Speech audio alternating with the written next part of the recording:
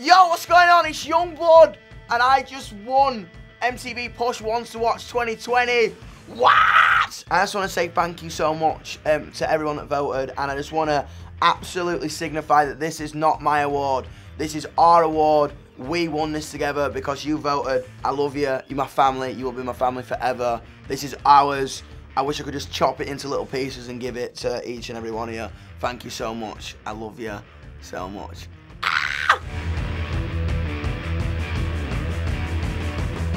How does it feel to win? I'm buzzing. I'm like, what?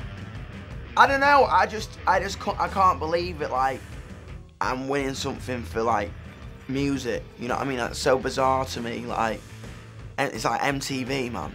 You know what I mean? That's so, so crazy. That's what I was saying to me, mate, like a minute ago. I was just like, we're like doing a show for MTV. I still can't believe it. I still can't get my head around this whole thing.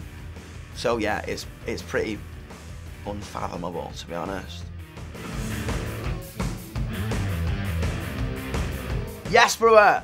Um, let's have a pint. Soon. Northern boys have got to stick together. Let's do something naughty soon. I think, to be honest, just release more music, play more shows, try and find people who, who feel like in, they don't feel like they can be who they are, and, and bring them in and give them a, a cuddle.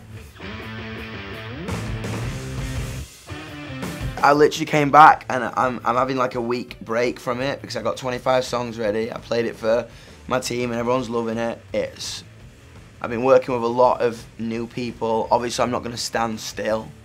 It's a lot about us. It's a lot about my community. It's a lot about love. It's a lot about unity. It's a lot about rejection. But it's almost realizing that maybe me growing up with mental health issues isn't a handicap anymore.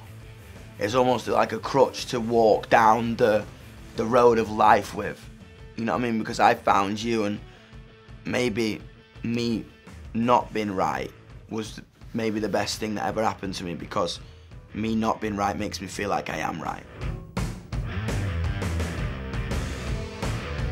Nah, man, I was with him like last week. Um, like last week, um, and we're just mates, mate. We used to hang out like we used to live, like basically live together. You know what I mean? My guitar player grew up with him, so we used to um, before we got signed. We were like, any luck yet? And I'd be like, no. I'd be like, what about you? Like, no. And to be here, we were like in LA last week, looking at each other like, what is going on? You know what I mean? So we're just happy to be where we are, and we're really grateful, and we love it a lot. Probably like Numb by Linkin Park, I think. Or Love the Way You Lie by Rihanna and Eminem. That'd be hard. We should actually cover that. That'd be sick. I just think to double the amount of people that my community connects to. You know what I mean? I think it's very easy to get caught up in the charts and numbers and digits and di di di di, di. but that's not what this has ever been about for me. This has been about like just trying to find people who think like me. Or maybe don't think like me and we change each other's perceptions, but we have a, a mutual ide ideology that we just want to be loved and we just want to be accepted. And if I can reach more people, then even if it's one more person, I, hopefully it's a million, but even if it's just one, that's, that's what it's about for me.